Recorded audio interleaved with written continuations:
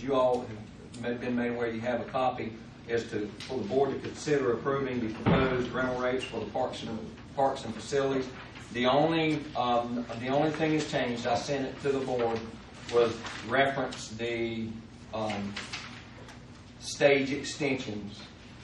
Um, to four, it was to, to four hundred. That is separate from just bringing the date, the showmobile.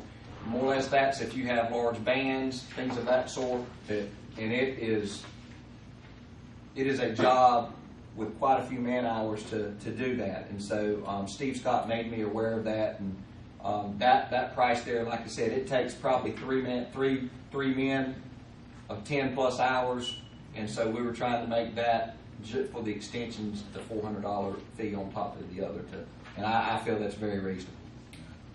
J.C., this was approved by the Yes, it was. committee, so it comes as a motion, so it's already, uh, I'll open it for discussion and question.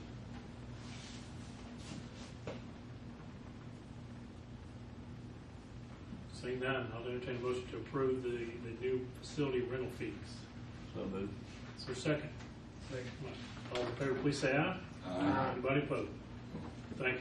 Thank you to the committee and George for uh, getting this done. I just want to say, Mr. Chairman, I think that that the public gonna really like these rates. These are some, some really good rates. I hope that more people use our parks now because of. George, you